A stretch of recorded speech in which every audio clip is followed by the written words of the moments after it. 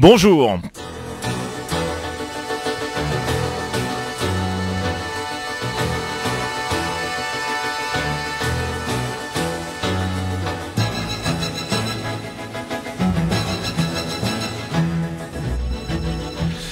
Bonjour à toutes, bonjour à tous, Richard Fanikian pour vous présenter la nouvelle édition du club Ararat TV Dialogue. Le club Ararat TV Dialogue est consacré à l'approche des fêtes aux livres liés à l'Arménie après la troisième édition du Festival national du livre arménien qui vient de se dérouler à Marseille.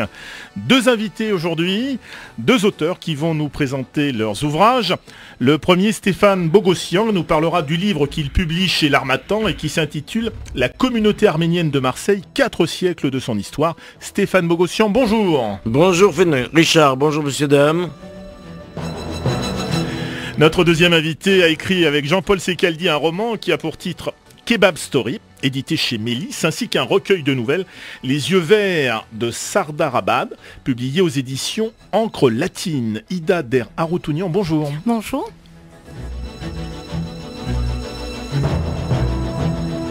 Nous commençons donc avec euh, Stéphane Bogossian. Alors c'est Stéphane hein, qu'on prononce Stéphane. Il n'y a, pas de, il a pas de. Il a pas de. Donc c'est Stéphane Bogossian. Avec votre livre, euh, vous nous plongez, euh, Monsieur Bogossian, au cœur de la communauté arménienne de Marseille. Vous êtes né à Marseille, en, on peut le dire, en 1932, oui. fils de rescapé du génocide de 1915. Dès votre plus jeune âge, vous participez à la vie communautaire arménienne de Marseille. Vous avez tout naturellement suivi l'exemple de vos parents. Oui. Le bon exemple de mes parents. Hein, il faisait déjà partie du, tissu associatif Mon pauvre père euh, avait beaucoup d'activités. Il était membre euh, du parti Ramgavaz. Il a été membre de l'euphorie de la cathédrale. Il a été membre aussi du conseil diocésain.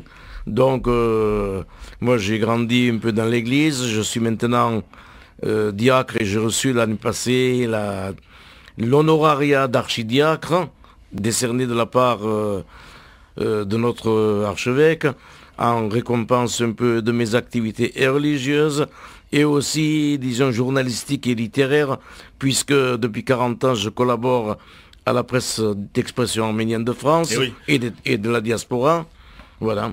Alors on peut dire, Monsieur Bogossian, que la, presse, la présence arménienne euh, à Marseille ne date pas seulement du génocide de 1915. Les Arméniens participent en fait à la vie marseillaise depuis quatre siècles. Oui, oui, oui, oui. C'est une idée faussement répandue chez certains, notamment chez les non-arméniens, que les Arméniens sont ici depuis l'après-génocide, alors que la présence arménienne est réellement attestée par un document écrit en 1000 621. 1621. voilà. Et ça concerne la famille dite Arménie ou l'Arménie, dont une rue porte le nom tout près de la On en parlera dans quelques instants. Donc il y a eu une petite communauté au XVIIe siècle. Oui. Je pense que c'est une communauté presque exclusivement consacrée d'hommes, puisque les femmes, notamment au Moyen-Orient, voyageaient très peu. C'était une communauté de commerçants, de négociants qui venaient pour vendre, acheter et partir. Et puis cette communauté a commencé à s'étoffer suite à la décision de Jean-Baptiste Colbert qui a déclaré Marseille port franc. Et donc à la fin du XVIIe siècle, cette communauté s'est un peu plus étoffée. Nous avons plusieurs traces écrites de la présence arménienne, dont des lettres patentes signées de la même même de Colbert que l'on peut trouver à la bibliothèque du patrimoine à la chambre de commerce, que j'ai compulsé moi-même. Et puis cette communauté a disparu dans la tourmente qui a emporté la moitié de Marseille en 1720 par cette peste. Et nous retrouvons une deuxième communauté qui se crée ici après 1850 et notamment après 1870, date de l'ouverture du canal de Suez.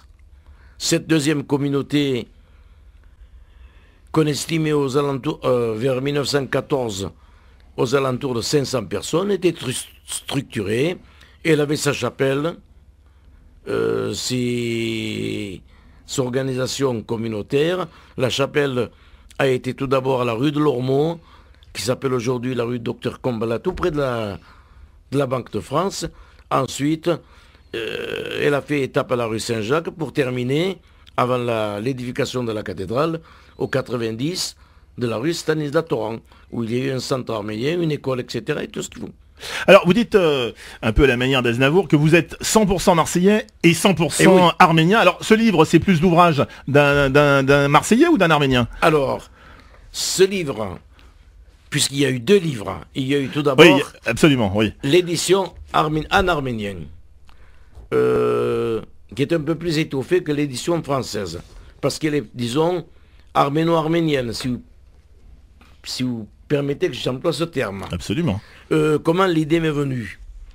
Euh, Comme j'ai dit, je collabore à la presse arménienne depuis des décennies et euh, dans les années 94-97, j'ai été pendant deux ans et demi le secrétaire administratif ou le chancelier, si vous voulez, de la cathédrale. Et là, nous sommes parvenus deux volumes un petit volume relatant les cent ans de la cathédrale arménienne de Paris, et un autre un peu plus étoffé, euh, consacré aux 75 années de la communauté de Lyon. C'était plus, euh, le second volume était plus euh, un catalogue de photographies qu'un livre.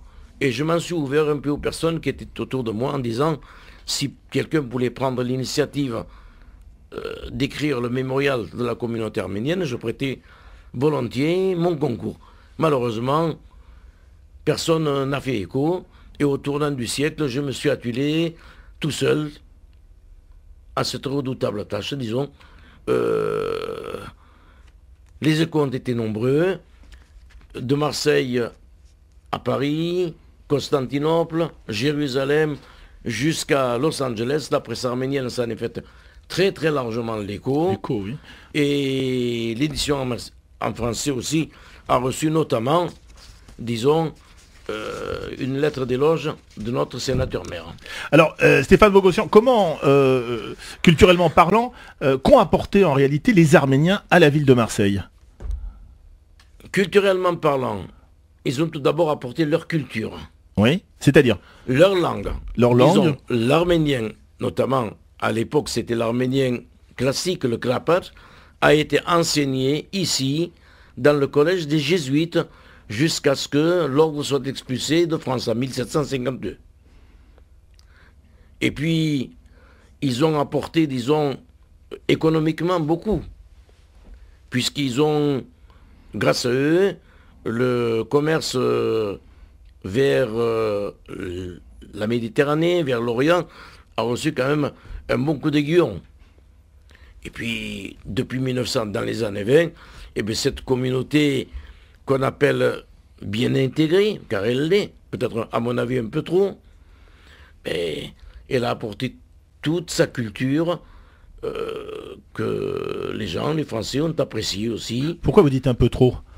Euh, Parce que sans être, disons, communautariste ou nationaliste, euh, j'estime que nous sommes un peu trop dilués et que les gens peut-être sont pas comme moi, 100% arméniens et 100% français, et qui sont peut-être plus 90% français et 10% arméniens, c'est tout. C'est un sentiment personnel que je vous donne. Alors comment on pourrait résumer ce que vous appelez la, cause arménienne La cause arménienne... C'est quoi la cause arménienne? La cause arménienne, les multiples. Alors en substance... Aujourd'hui, en cette fin d'année 2010, pour moi, le, premier volet de la cause arménienne, c'est pour les Arméniens de pouvoir vivre et en toute sécurité sur ce qui reste du territoire historique, du territoire national.